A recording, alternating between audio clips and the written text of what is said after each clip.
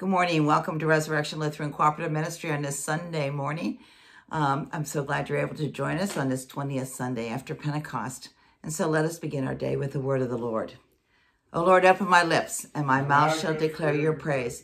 Glory to the Father, and to the Son, and to the Holy Spirit, as it was in the beginning, is now, and will be forever. Amen. Alleluia, alleluia. Give glory to God, our light and our life. O come, let us worship him. O come, let us sing to the Lord. Let us shout for joy to the rock of our salvation. Let us come before his presence with thanksgiving and raise a loud shout to him with psalms. For the Lord is a great God and a great King above all gods. In his hands are the caverns of the earth. The heights of the hills are also his. The sea is his, for he made it, and his hands have molded the dry land. O come, let us bow down and bend the knee and kneel before the Lord our Maker for he is our God, and we are the people of his pasture and the sheep of his hand. Glory to the Father, and to the Son, and to the Holy Spirit, as it was in the beginning, is now, and will be forever. Amen. Give glory to God, our light and our life. Oh, come, let us worship him. Our psalm today is Psalm 139. Lord, you have searched me out and known me. You know my sitting down and my rising up, and you discern my thoughts from afar. You trace the journey you trace my journey and my resting places and are acquainted with all my ways. Indeed, there is not a word on my lips, but you, O Lord, know it altogether. You press upon me, behind me, and before, and lay your hand upon me. Such knowledge is too wonderful for me. It is so high that I cannot attain to it. When can I go then up from, from your spirit? Where can I flee from your presence? If I climb up to heaven, you are there. If I make the grave my bed, you are there also. If I take the wings of the morning and dwell in the uttermost places of the sea, even there your hand will lead me, and your right hand hold me fast. If I say, surely the darkness will cover me, and the light around me turn to night, darkness is not dark to you. The night is as bright as the day. Darkness and light to you are both alike, for you yourself created my inmost parts. You knit me together in my mother's womb. I will thank you because I am marvelously made. Your works are wonderful, and I know it well. My body was not hidden from you while I was being made in secret and woven in the depths of the earth. Your eyes beheld my limbs. You, you're yet unfinished in the womb. All of them were written in your book. They were fashioned day by day when as yet there was none of them. How deep I find your thoughts, O God. How great is the sum of them. If I were to count them, they would be more in number than the sand. To count them all, my lifespan would need to be like yours. Oh, that you would slay the wicked, O God. You that thirst for blood, depart from me. They speak despitefully against you. Your enemies take your name in vain. Do I not hate those, O Lord, who hate you? And do I not loathe those who rise up against you? I hate them with a perfect hatred. They have become my own enemies. Search me out, O God, and know my heart. Try me and know my restless thoughts. Lord, well, uh, look well, uh, whether there be any wickedness in me, and lead me in the way that is everlasting. Let us pray. Lord Jesus Christ, when you descended among the dead, you brought them to the light of day.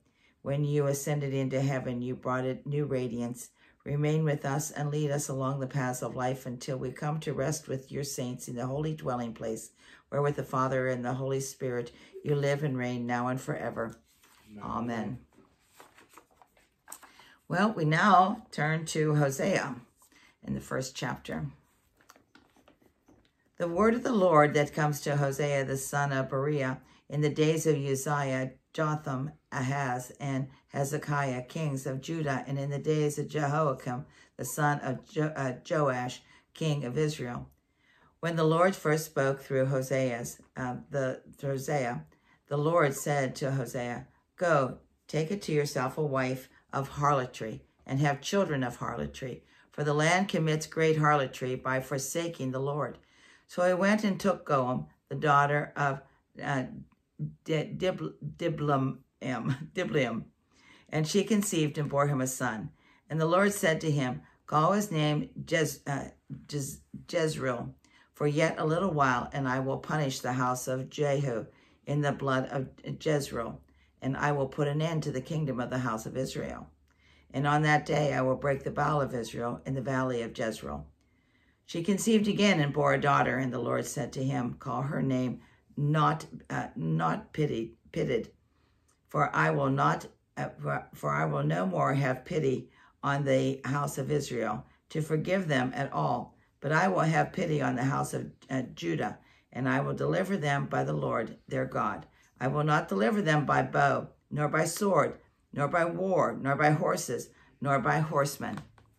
When she had weaned not pitied. She, uh, she conceived and bore a son, and the Lord said, Call his name not my people, for you are not my people, and I am not your God. Yet the number of the people of Israel shall be like the sand of the sea, which can be neither measured nor numbered. And in the places where they where it was said to them, You are not my people, it shall be said to them, Sons of the living God. And the people of Judah and the people of Israel shall be gathered together and they shall appoint for themselves one head, and they shall go up from the land, for great shall be the day of Jezreel. Say to your brother, my people, and to your sister, she has obtained pity. The word of the Lord. Thanks be to God. God. Our second reading comes from James, the third chapter. Let not many of you become teachers of teachers, my brethren, for you know that we who teach shall be judged with greater strictness, for we all make many mistakes. And if anyone makes no mistake in what he says, he is a perfect man, able to bridle the whole body also. If we put his uh, put bits into the mouths of the horses that they are that they may obey us, we guide their whole bodies. Look at the ships also. There they are so great and are driven by strong winds. They are guided by a very small rudder where, wherever the will of the pilot directs. So the tongue of a little member and boasts of great things. How great a forest is set ablaze by a small fire. And the tongue is a fire. The tongue is an un unrighteous world among world among our members, staining the whole body, setting on fire the cycle of nature, and set on fire by hell. For every kind of beast and bird, of reptile and sea creature can be tamed and has been tamed by humankind, but no human being can tame the tongue, a restless evil, full of deadly poison. With it be, uh, we bless the Lord and, and Father, and with it we curse men who are, who are made in the likeness of God. From the same mouth comes blessings and curses. My brethren, this ought not to be so. Does a spring pour forth from the same opening uh, fresh water and brackish? Can a fig tree, my brethren, yield olives or a grapevine figs? No more can salt water yield fresh. Who is wise and understanding among you? By his good life, let him show his works in the meekness of wisdom. The word of the Lord. Thanks be to God. Good thought there. Mm -hmm. Holy Gospel comes from St. Matthew, the 13th chapter. Glory to you, O Lord. The kingdom of heaven is like treasure hidden in a field which a man found and covered up. Then in his joy he goes and sells all that he has and buys that field. Again, the kingdom of heaven is like a merchant in search of fine pearls, who on finding one pearl of great value went and sold all that he had and bought it. Again, the kingdom of heaven is like a net which was thrown into the sea and gathered fish of every kind. When it was full, men drew it ashore and sat down and sorted the good into vessels but threw away the bad. So it is, so it will be in the close of the age. The angels will come out and separate the evil from the righteous and throw them into the furnace of fire. There men will weep and gnash their teeth. Have you understood all this? They said to him, Yes. And as he uh, said to them, Therefore, every scribe who has been trained for the kingdom of heaven is like a householder who brings out of his treasure what is new and what is old the gospel of our Lord. Praise, Praise to you, O Christ. In many and various ways, God spoke to the people of old by the prophets. But now in these last days, he has spoken to us by his Son. Blessed be the Lord, the God of Israel. He has come to his people and set them free. He has raised up for us a mighty Savior, born of the house of his servant David. Through his holy prophets, he promised of old that he would save us from our enemies, from the hands of all who hate us he promised to show mercy to our fathers and to remember his holy covenant. This was the oath he swore to our father Abraham, to set us free from the hands of our enemies, free to worship him without fear, holy and righteous in his sight all the days of our lives. You, my child, shall be called the prophet of the Most High, for you will go before the Lord to prepare his way, to give his people knowledge of salvation by the forgiveness of their sins.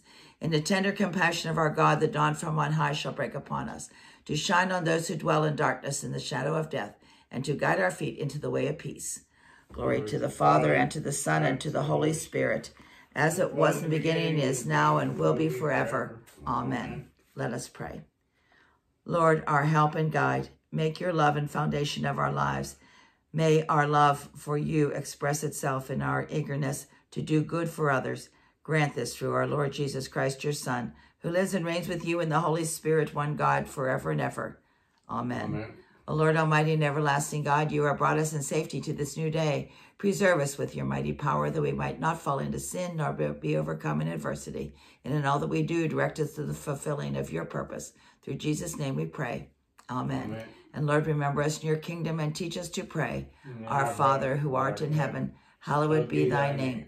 Thy kingdom come. Thy will be done on earth as it is in heaven. Give us this day our daily bread and forgive us our trespasses as we forgive those who trespass against us. And lead us not into temptation, but deliver us from evil. For thine is the kingdom, and the power, and the glory, forever and ever. Amen. Let us bless the Lord. Thanks be to God. The Lord Almighty bless us and direct our days and our deeds in his peace. Amen. Well, thank you so much for joining Tom and I on this uh, 20th Sunday after Pentecost. I hope you have a safe and blessed day and hope to see you tomorrow as well. God bless you. Mm, bye-bye.